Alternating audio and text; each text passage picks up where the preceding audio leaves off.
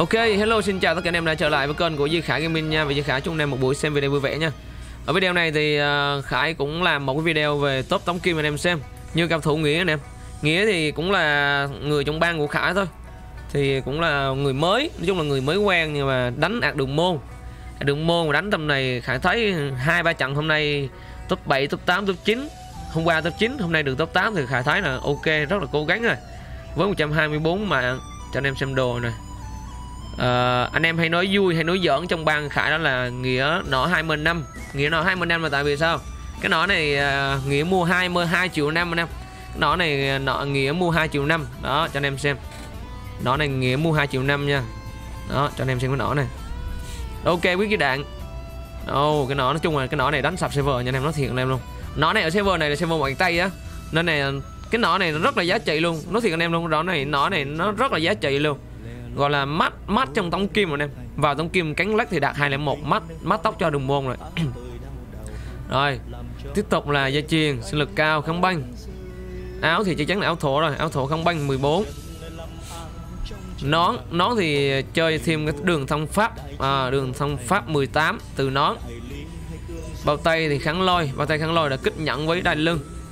Đai lưng thì kháng lôi 15 530 nhẫn thì uh, làm chậm 20 khăn lôi uh, ơi làm chậm 20 uh, thông pháp 12 bên này làm chậm 30 thông pháp 13 chung là mang một set đồ ba món thông pháp cho anh em. Không biết ngày bội có thông pháp không?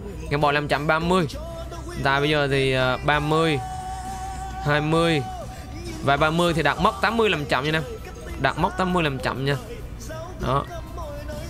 Đai lưng khá là đẹp. 15 30 sinh lực nội lực ngọc bòi sinh lực nội lực 30 làm chậm nhận kháng hỏi dòng 119 dây cũng kháng hỏi dòng 1 đó.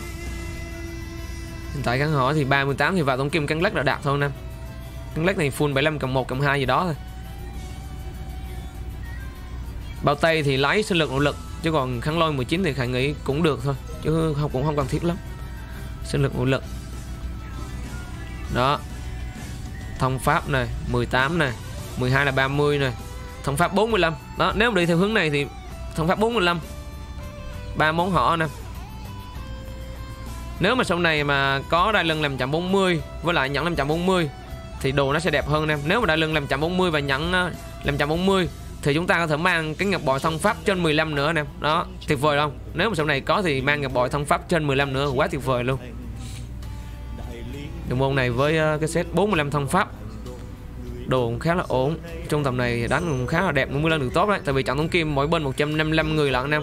Cố gắng bất lễ và giao tranh cánh như thế nào đó thì có tốt thôi chứ còn tầm này đường môn rất khó đánh nó thiệt anh em luôn. Tầm này đường môn rất khó đánh. Rồi anh em xem video này thì đừng quên cho nghĩa cũng như khải một like chia sẻ em ơi. Hiện tại bây giờ nghĩa như là cấp uh, trong bang khả là cấp 90 uh, 95 nữa đó một ạc khá là cấp khá là thấp thôi. Nhưng mà bơ cao cũng khá là đỉnh nha khẳng định anh em luôn. Ở thời điểm hiện tại bây giờ mà đường môn đánh với cái tổng trọng thông kim hơn 150 mấy người mà đánh có tốt là khả nghĩ khá khá ok. Biết cách bơ ca, đánh tốt, quá tốt luôn. Nói 20 năm.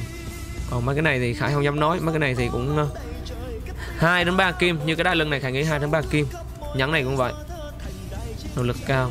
Ngọc bội này cũng vậy nha. Ngọc bội khá là mắc. Nói chung là cái thời điểm hiện tại bây giờ thì làm chậm thì những món làm chậm dòng một và đi kèm với sinh lực lực nó khá là đắt. Chưa nói đến là thân pháp nha nè. Kèm theo thân pháp như thế này thì em, đồ cũng khá là đẹp. Trong bài sáu nha.